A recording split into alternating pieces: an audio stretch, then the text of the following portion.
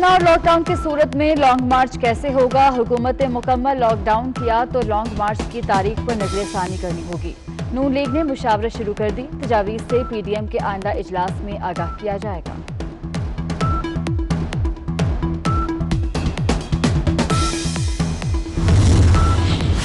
अमीर जमात इस्लामी सिराजुल हक ने सेनेट इलेक्शन को सिलेक्शन करार दे दिया। कहते हैं कि हुकूमत और अपोजिशन दोनों सिलेक्टेड हैं।